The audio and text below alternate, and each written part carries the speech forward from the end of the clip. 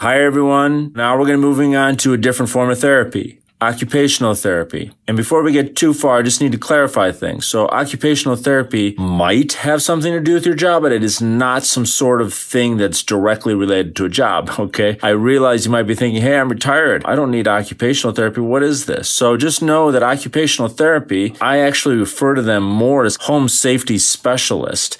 They're in the medical field. They're licensed. Okay. They go hand in hand in a lot of ways with physical therapy. There's a lot of good things they can do. And I'm not going to spoil the video for you but just don't rule out these occupational therapists. I'll just tell you one of the things they can do. And that is that they can come into your house if you're open to that idea. They can do these home assessments. They're qualified to kind of go through things with you in your house that will be troublesome or become a dangerous issue for you. So obviously, you know, you don't want that problem. And if we're serious about fall prevention and walking better, why don't we think about our house? Because that's where a lot of the falls happen is in people's homes.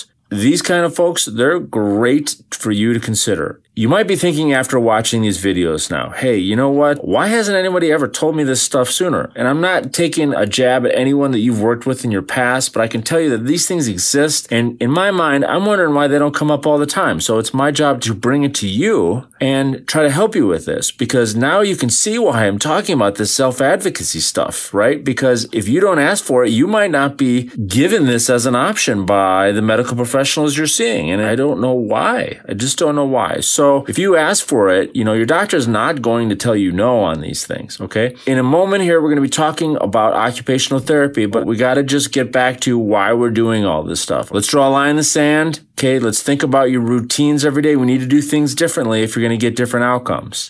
If you haven't talked to your doctor about this yet, tell your doctor, you know what? I want a script for this custom walking aid known as an AFO. Go to an orthotist and they can help me with that. I want a script for physical therapy or I don't know if they give scripts for yoga or personal training or Pilates or whatever the case is. You can still put that on your agenda, right? So the top three here would be the custom walking aid, physical therapy, and or these other forms of exercise and also occupational therapy, perhaps just for a home assessment or additional occupational therapy. These three things things right here can change the game for you. And that's what you deserve to have happen. You got to keep moving forward with this. You won't get anything just because you want it. You still need to put in some work for this stuff to get this. Good things are supposed to happen to you. I would love to hear you say that out loud to yourself. Good things are supposed to happen to me. This is what is going to work for me. I'm going to get the custom walking aid.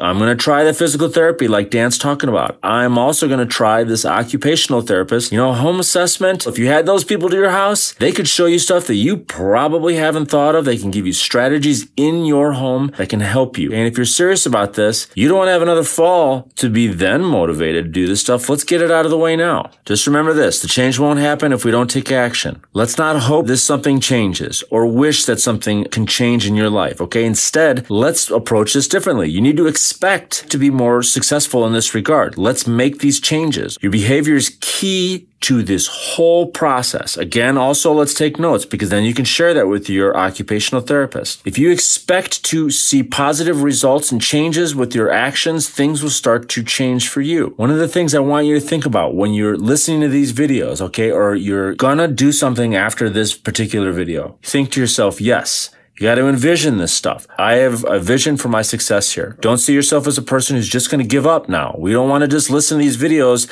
and have a smile on our face. We want to do something about this. Have a vision that you're going to keep going with these keys and bring them to life. Know where you're headed. That's so important. Where you're going is so important. Have a vision in your mind. You're going to do these three things. If it was just these three things, this can change the game for you. The cane is not equal to these things at all, and hope is not either, okay? These medical professionals that I'm talking to you about can change the game for you. Don't listen to naysayers in your life that say, oh, I tried occupational therapy and it didn't work for me. I can tell you that 90, 90% of the people that you're going to meet with walking problems, they are not going to be learning the stuff that you're learning right now. Just think about your emotional home here. What is it like in your house today? Do you have fear? You don't deserve to have that happen. So let's do something about this. Let go of the silly stuff that's trying to block you from your improvement. If you do what everyone else is doing around you, you like usually getting those walking canes and just hope things get better, or being someone who's just going to sit all the time, that's what's going to happen to you. You can do this. Let's keep moving forward. Now, here is the compilation with Samantha and Rachel. They can tell you a lot of great things about what an occupational therapist can do for you. And then we're going to move on later to some great information from a woman named Brittany. Brittany has done many videos with us and she can also teach you about occupational therapy. But just one thing to start here. Just remember, this has nothing to do with work as far as a job, occupational. When they refer to occupations, that means things you do in your daily life, your daily occupations. So that could be cooking, cleaning. How am I going to do that better? How am I going to get in out of a chair better? How am I going to get in out of a car better? All of those things matter for you. And if you want success with this, you got to focus in on some of this stuff. Without further ado, let's move forward and let's listen to this next compilation with Samantha and Rachel. Can you talk about what the role is of an occupational therapist in general? So, an occupational therapist is someone that can help you with anything that you want or need to do in your everyday life, but th- that may be learning new skills, maintaining old skills, relearning those skills if you knew them before. But we try to use the occupations that that are important to you. So, and that's kind of our main perspective. Always applying what we're doing to those activities that are important to you. Mm-hmm. So that's different from PT, where I would say they are the gait expert. They are going to work on strength, balance, gait, or what gait is walking, where we would maybe also be working on those things, but we'd be doing that so that you can get back to cooking in your kitchen. They also have that goal in mind, but we're just we're looking at it through a different lens, a different perspective. It's more situational for life. We're looking at it with that lens. Yeah. It, okay. If we can't apply it to some an occupation that's important to you, then we probably shouldn't be doing it. Yes, you may come in and see that we're working on upper extremity stretches, but why we may be trying to get you back to being able to dress yourself or to help engage in play with your grandchildren. So we're always just relating it to those occupations or your activities of daily living. So when you say occupations, you really, to someone who doesn't know what you know, that just means activities of daily living that you're doing per day. Yes, thank you. Things. Yeah. Right? Yep. So that could be getting dressed. That could be going to the grocery store. That could be paying bills. Everything you do in daily living, going to your job, things like that. Can you describe just really quickly the difference between the profession of being an occupational therapist and a physical therapist? So, a lot of times we do very similar interventions, but the main difference is that occupational therapists focus on everything that occupies your time. So, that could be anything from getting ready for the day, going to the bathroom, all the way through cooking, cleaning, and even driving. So, we are really focused on getting you back to doing those things, whereas physical therapists focus more on the physical aspects um, and the mobility aspects. Can you name some of those activities that would be important to someone who has foot drop or who falls. It would be getting from probably the bedroom to the bathroom. Yes. So we see a lot of patients who have fallen due to foot drop. Going to the bathroom is a big one. Getting in and out of the shower is another big one. Even things like going out to the community, going grocery shopping, that's a lot of walking. So sometimes they might have foot drop where they're able to get to and from the bathroom with no problem. They're able to get around their house, but the foot drop limits them in longer distances because they get tired. The ways that they're compensating and using other muscles um, can really impact their ability to complete those tasks. So we call them mobility related ADLs, which is activities of daily living. So that can be anything that you need to do or want to do during the day that directly relates to mobility, which is a lot of things in our life getting around your home is important. If you can't do that, you're not going to do your occupation. So that might be I'm recommending a tub bench or grab bars in the showers by your toilets, railings to get into the house, things like that.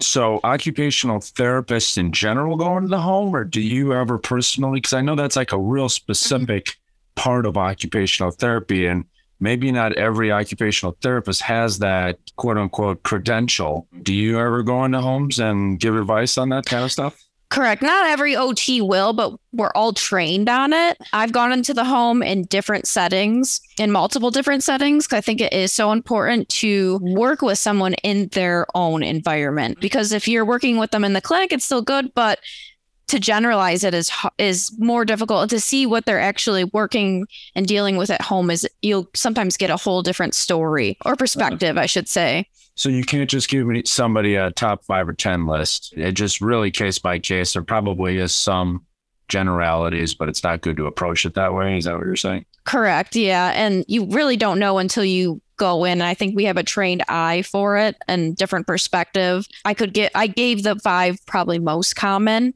the adaptions oh, we give, but okay. there can be so many. Like if they have back pain, they may want to. We'll, we'll see. Oh, you you do a lot of picking up your shoes from the floor. Can we move these to a higher location? So uh, even changing little things like that, we may not know realize they're doing so much until we get there. What would an occupational therapist say to someone who is curious about being more safe going from the bedroom to the bathroom. We do have a couple things that we recommend to every single patient almost.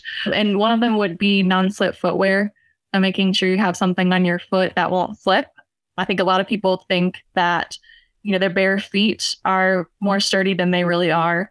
Having that footwear on can really make the difference between if you step on something such as a towel or a piece of tissue paper that may have fallen on the floor, or even a rug that might not be nonstick, and that footwear can really make a huge difference in preventing a fall. But additionally, we always recommend turning on lights, especially if it's at night, making sure that the area is very highly visible, that you can see where you're going and where every step of your foot is being placed, because it only takes one second for your foot to not be where you thought it was or to be stepping on something that you didn't think was there for a fall to happen. What else would you say? So in the bathroom, you said the bathroom's very important. Can you talk a little bit more about that when it comes to falls? Sure. So the number one place for falls is in the bathroom. So that could be the shower, it could be going to the toilet, it could be getting ready for the day. But in general, the bathroom is the most dangerous place in your home. But you don't think about it because when you're going to the bathroom, either you're using the shower and it's wet and slippery, or you are going to the bathroom and maybe you're rushing. Maybe you have to go to the bathroom and you're not thinking about all the safety things that you think about when you're maybe just leisurely going to sit in a chair or make yourself a meal. It can be a lot more of an immediate experience. The other thing that we see is that there are a lot of rugs in the bathrooms. So, throw rugs are another thing that we do recommend taking up. It can be helpful when you first come out of the shower to have a non slip mat in there. But taking that up when you're not showering can be really helpful as well. Because again, if you're not looking for that, you're not thinking about it, maybe yeah. you have been or you're starting to use an assistive device such as a rolling walker, that run can be a really big tripping hazard more than you probably realized, you know, maybe before things have changed for you.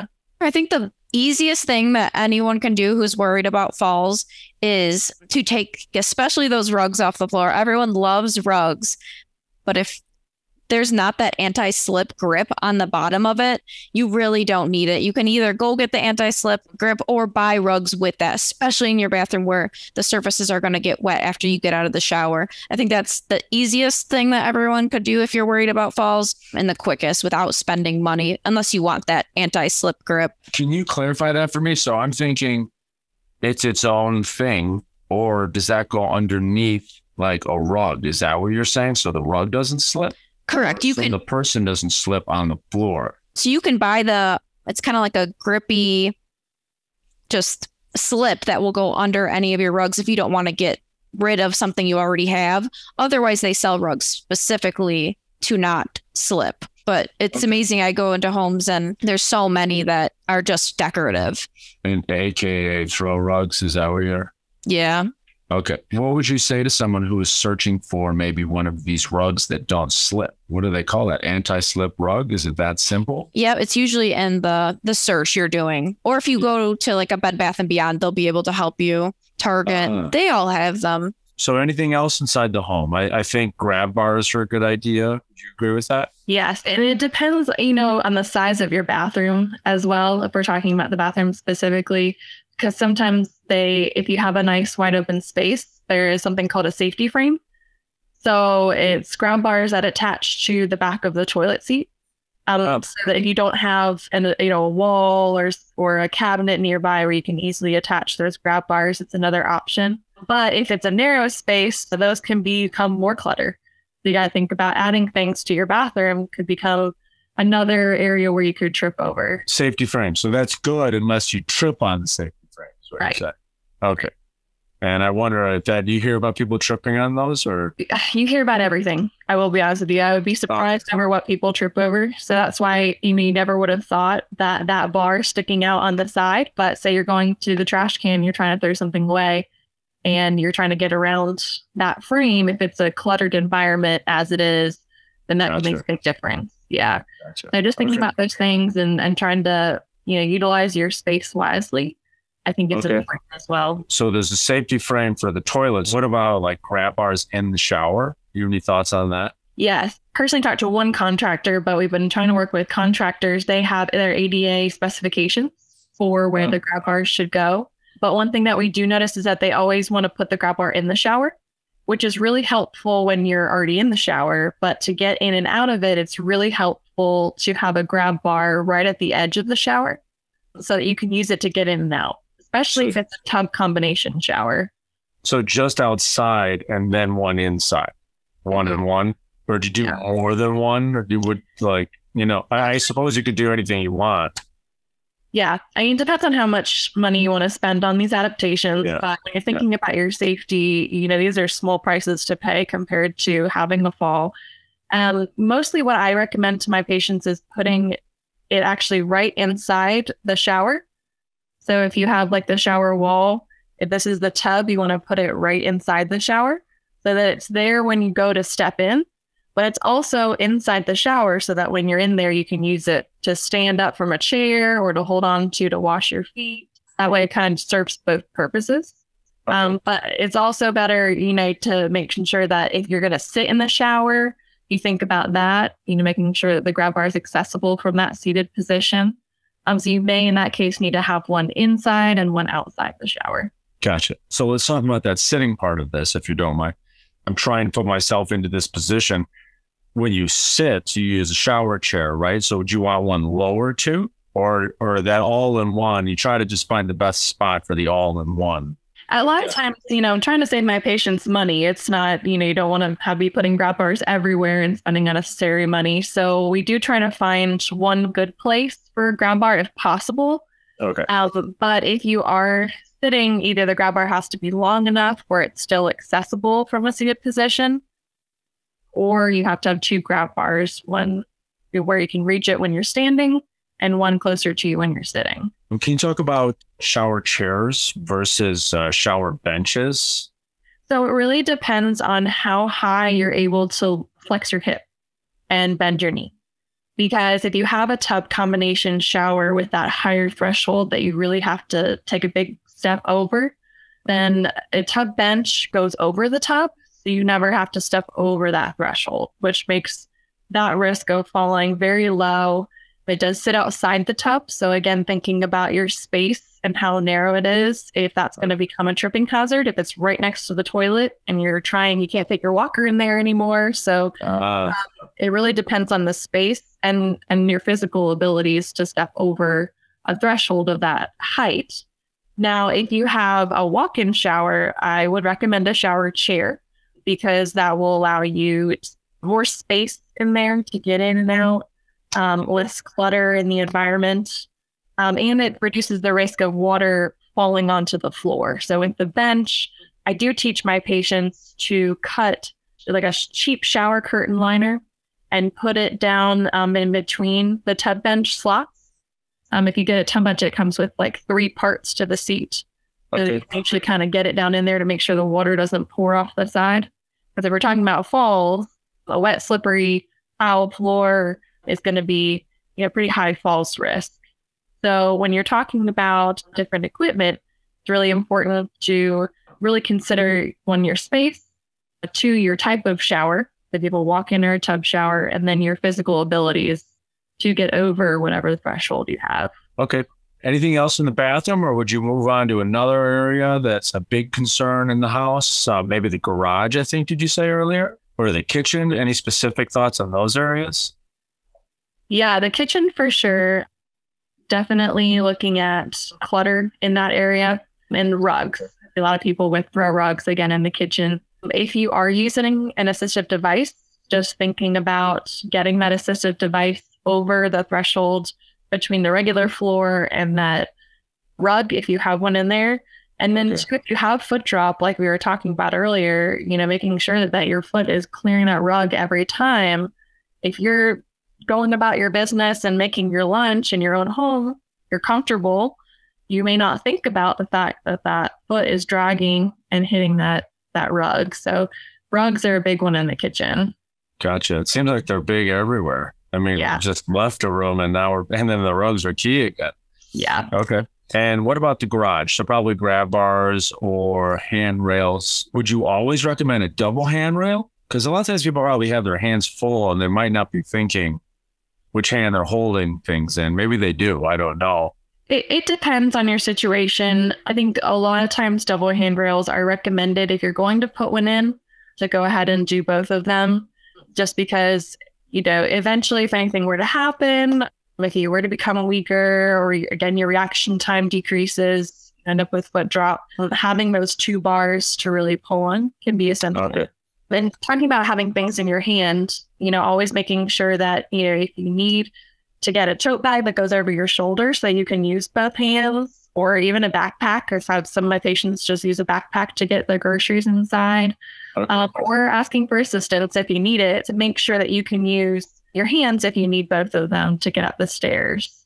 Okay. So you concentrate on also teaching people to think about freeing up their hands. That's good. I can see the value. I don't always think about that. So that's that's probably a great therapy conversation point, I would imagine. Yeah. So so tote bags or backpacks is what you're saying. And it doesn't yeah, necessarily something that takes it out of your hands, you know, assistance if you if you have it there. And then thinking about there are little like grocery bags on wheels, something like that. So at least you can have one hand free and carry a large chunk of your groceries in at one time. So there are kind of different items you could buy, but a lot of people just have a you know over the shoulder tote bag or a backpack lying around. So it's a really easy option to free up your hands. Or if you were to stumble a little bit, that it doesn't turn into a full fall. You can catch yourself, grab onto the handrail, use those reactions that your body naturally has. Any thoughts on handrails? Yeah, I think that's huge just for, I mean, most of our homes that are built are built with many steps to get in and out. So without that, it really leaves you kind of balancing on one foot to get from step to step.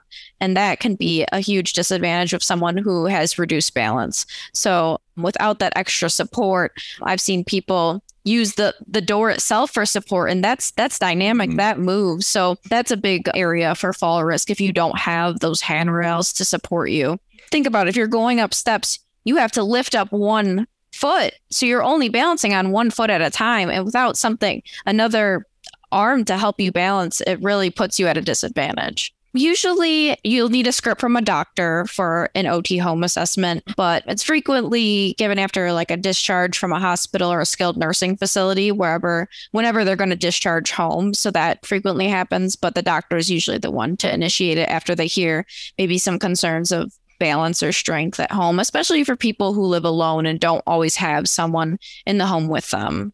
Right after a fall, what's being told to people about fall prevention from an occupational therapist point of view? So you mainly want them to feel confident to know what to do because usually what do people do after they fall they they panic so hmm. actually after a fall you want to kind of assess the situation and stay calm, which I know is very hard to do, but you really need to assess for pain because you could injure yourself further by getting up quickly. Or if you sustained like a spinal cord injury, you could definitely injure yourself more by moving quickly and getting up. Or you could get up too quickly and be dizzy. And then again, you could cause another fall. So that's the first thing you kind of want to let people know and educate them is just to kind of assess the situation.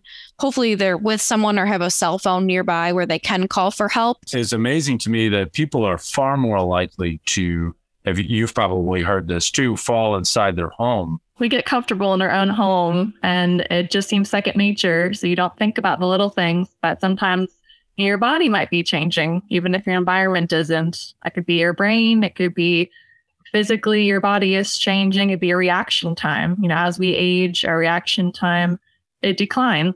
So that's something to think about when you're moving around is the time that it's going to take for you to process if you're, you know, starting to fall or if you're starting to have an accident, that the time it's going to take you to react appropriately, it may not be enough time anymore. So putting Right, these right. strategies in place is really important. So obviously exercise and balance is going to be huge for fall prevention, especially with our elderly population, but doing things that they want to do and are motivated to do is going to help with that. Also just ha- making sure recommending like proper shoes and equipment, proper shoes is going to help. I've actually also gone with clients before to see orthotists and prosthetic to get that to help in their everyday life. And then a big area that we do as well is removing barriers from their environment. So we do a lot of home assessments as well if needed. So going into their home and making recommendations. So those barriers, if they can't clear their their shower tub or if there's a ton of rugs on the floor things like that there's recommendations we can make in that way to help prevent falls if they're scared of falls just also preparing them to know what are you going to do when you do fall or if you fall or wh- when or if and ways that can help reduce injury in that case. And so they just feel more confident in their own abilities in that regard. But there's a lot of different yeah angles you can go depending on the client.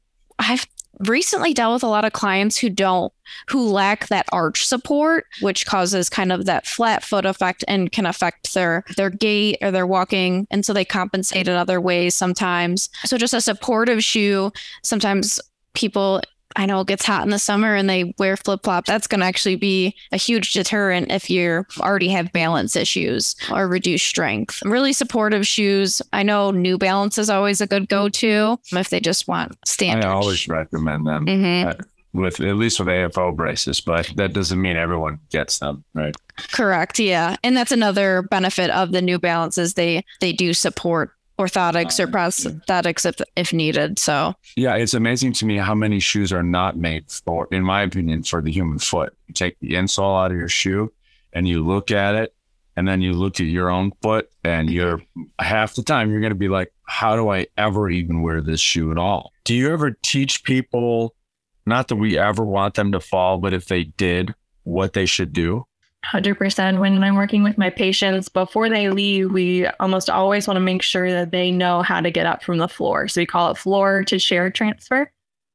So we usually mm-hmm. try to teach them how to, you know, crawl to a safe place, how to use a mm-hmm. chair, a counter, something like that to get up from the floor. So basically what you would want to do is crawl to a couch, a chair, and get onto your hands on the chair onto your knees and then push yourself up as best you can into that chair.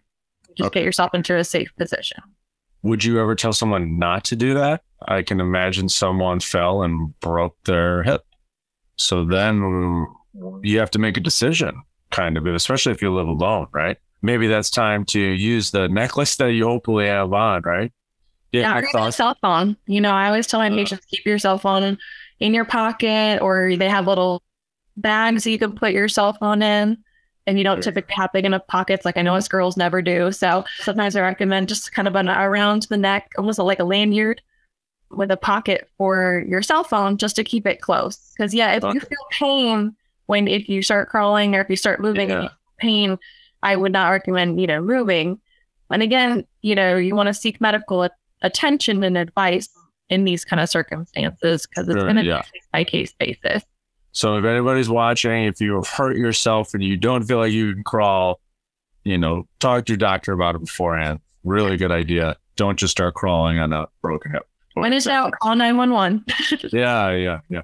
So it's probably a tough call, but if you fall, some people might not realize how bad the fall is, and then they should have called but didn't. You know what I'm saying? So when you hit the ground, should you call every time? Do you have any rules of thumb on that?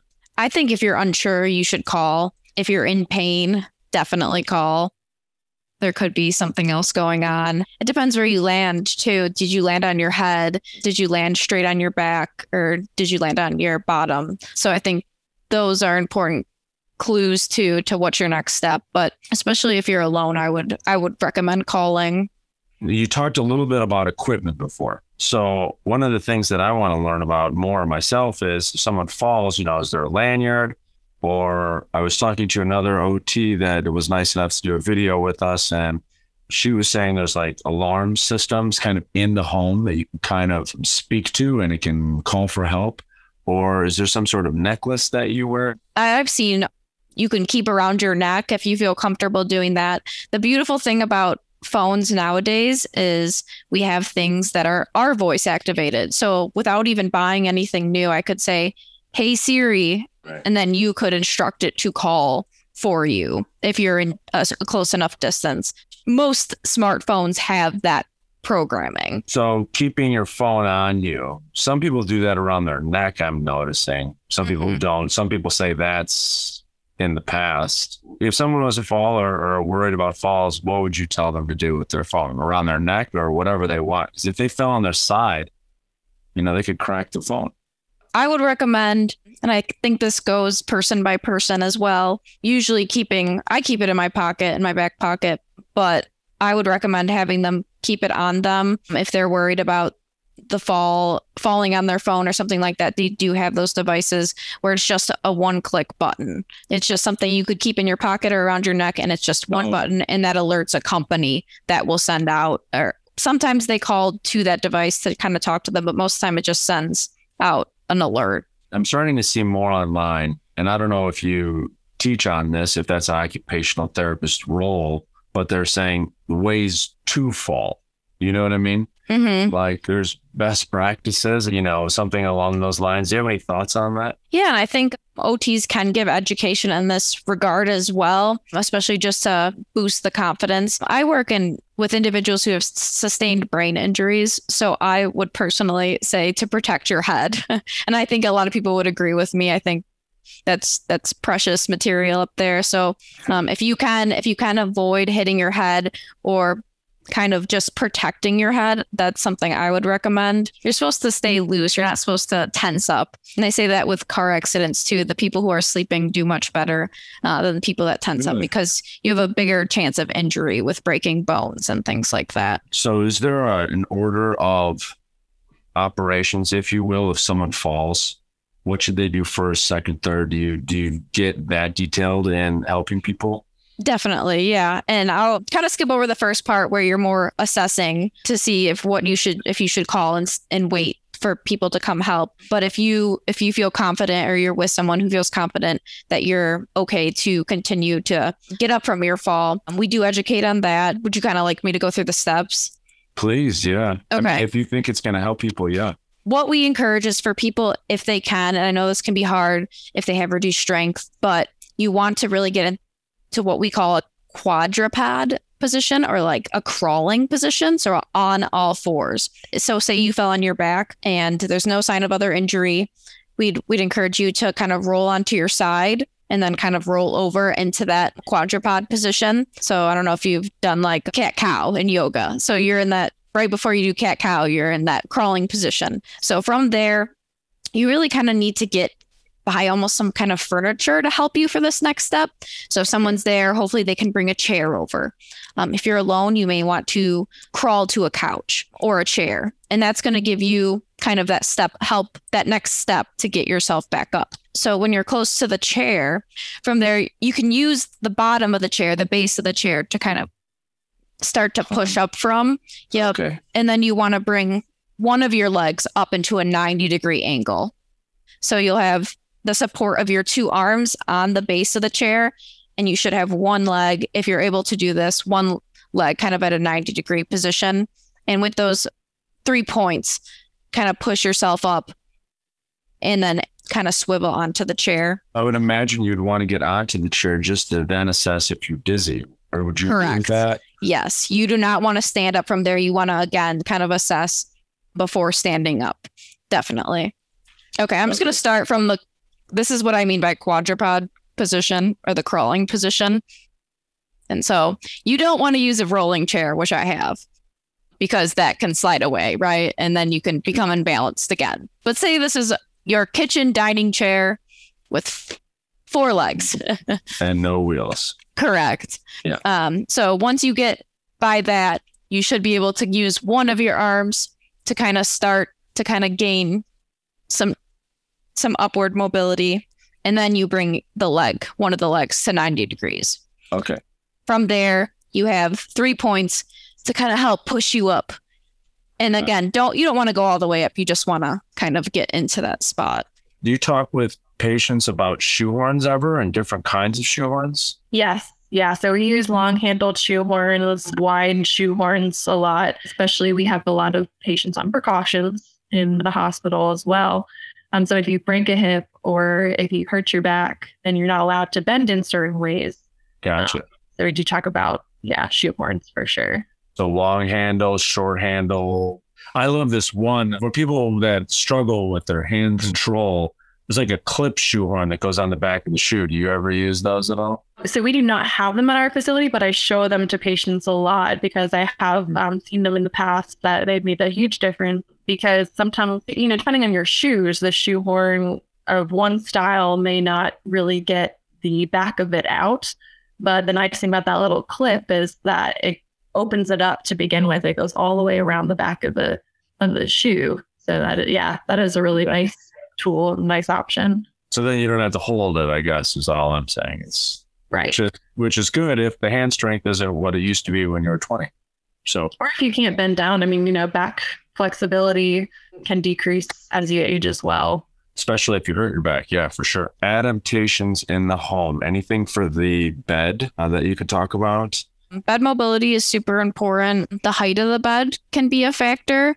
If a bed's too low, just like a toilet, this is going to make it very difficult for someone who has reduced strength to get out of it. Or, like you said, like they do have things you can put on the side that can help with that that push up, that transfer to get out of the bed, or to help them to get to the side of the bed.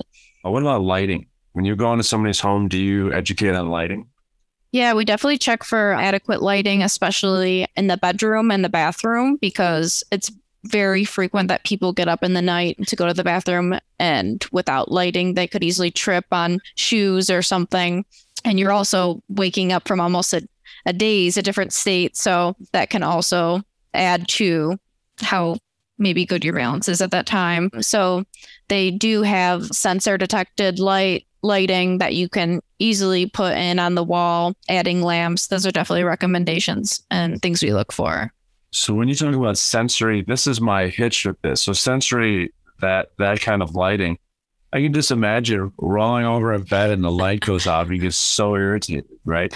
hmm Are, is there certain areas that are best for that, like in the hallway, maybe, or what do you think on that?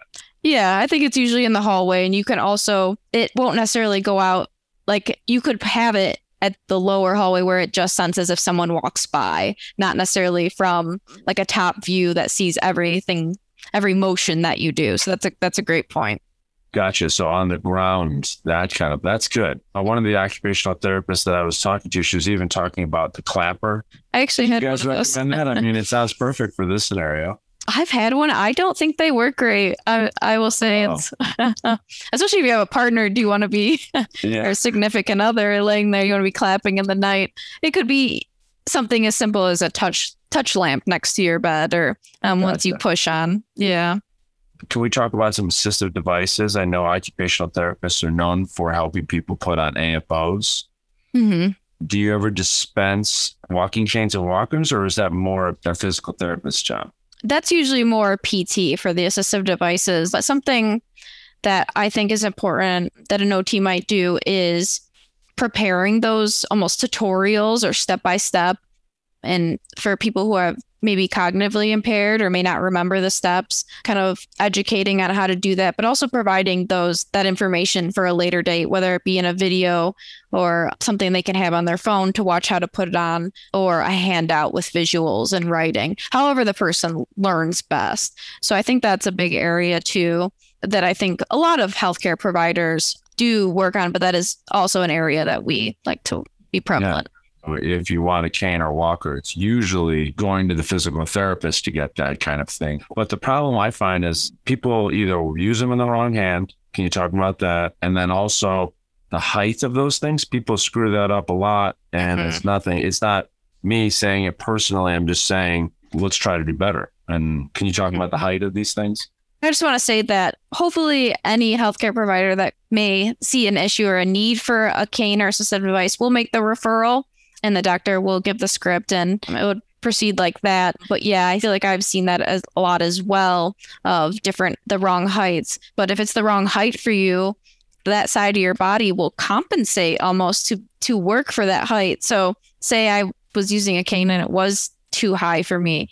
My shoulder, my my left my my right side of my body is going to compensate and that's going to throw off your your gait and your body and your alignment in different ways especially over time so i don't think people think about that and i don't think i would either if i wasn't in this field i would say this is definitely like more of a pt's area but it's something that we're educated to spot and to refer to sure um, or to give a referral to so just something to think about how it can affect you long term. You occupational therapists, do they make these sock aids or is that a prefabricated thing you just get on online? Usually they're purchased online, but OTs are known for being very resourceful. I know we had a class where we had to try to make all the adaptive equipment um, because sometimes you want to just have it on hand and some people may not be able to afford all these things you're recommending so that was actually one i did and i made it out of like a, de- a detergent bottle and some rope and but usually you buy them but it's oh, possible. So the um, sock aid can you discuss what that is to people that might be interested? I mean it, it the word the name gives it away but can you talk a little bit more about the process? So sock-aid essentially is this plastic device and it's attached to usually two pieces of string would be recommended to someone who may have back pain or issues bending down or can't reach their their feet to put their socks on or if they're not able to bring their foot up either which is very difficult you need to have some good range of motion in your hips so you would it's something you can do just sitting on the side of your bed or in a chair. If you had the sock aid in one hand, you would apply the sock onto it, and then you could just, with your two ropes while holding onto them, and then with your foot, you would be able to put it into kind of the plastic device with that the sock is covering, and then you what would kind of just onto the sock. What holds the sock on? So that's a a plastic piece, and usually at the very end, it's almost like a it's not sandpaper, but it's something that kind of holds onto it over the heel. As you continue pulling, it gets over the heel and then it comes out. What about long handled shoehorns? Is that something an OT rarely recommends or usually recommends or?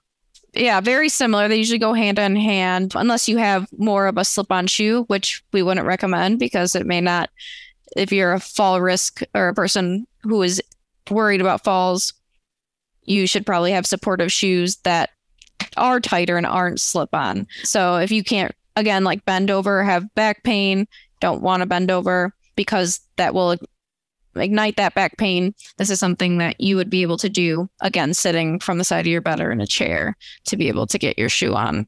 So I hope that you liked something that you've seen in that particular video or heard. Now just remember some of the great stuff that I think that's in that video can pertain to your life as well. Just remember if you go to an occupational therapist, maybe you get a walking aid of some kind. Even if they don't give it to you, they can actually create tutorials for you for your walking aids of any kind, even if they didn't dispense it to you talks about an important potential aid that could help you in your future as well called the sock aid. And we're going to show you more videos on that later. And you may want to go back through this with your notes or just think about it right now and write this down as well. Think about the activities that you do every day or that you want to do better and write them down. So like cooking. Yeah, I have trouble cooking when I'm trying to stir the ingredients or when I'm trying to knead the dough or whatever the case is. Write some of these things down. An occupational therapist can actually help you with that. They can help you with ideas in the grocery store, cooking, cleaning, driving, getting in and out of the bathroom, the shower, etc. So those things are all valuable for you and don't overlook the significance of them. Don't devalue them just being a simple little topic of conversation. This is your life and you can actually do something with the knowledge that an occupational therapist can help you with. Also, an occupational therapist can work on ways for you to get up the best way possible, even if you do fall. They talk about shoehorns. The clip shoehorn is a great one, and we'll show you a picture of it here. A, sh- a clip shoehorn can help you with an AFO. It can help you with just shoes in general. It's something that doesn't require your active hand movement in order for you to benefit from it. So a clip shoehorn goes on the back of your shoe, and that way you can more easily get into the shoe or use the clip shoehorn to help you use the AFO with the shoe as well. Also, fatigue planning can be really important for someone. Rachel, at the very end of her video there, she talked about fatigue planning and know where your breaks are. All of those things are important for you. In our next section, we're going to be meeting with Brittany. Brittany has a lot of videos she's done with us and think about what she's saying. Take some notes on this. She talks about a lot of different things, shower chairs, shower benches, so many other things that could be valuable for you. And I wouldn't overlook just the importance of occupational therapists in your life. Even if it was just for one or two visits, that could be so much more than I can tell you 90% of the people are actually going to try to go out and get help with. Maybe just even if it was just one idea in your house that could help you, that could go the distance for you. You need just one distinction here or there that can help change the game for you. Okay. I would at least get one visit from an occupational therapist if you can to help do a home assessment and just some introductory stuff that can help change your life. One of these falls just takes a few seconds, and if you can avoid it, it could, could save you so much pain and misery that I'm trying to help you get ahead of this right now. So we'll see you in the next video with Brittany, and let's keep moving forward.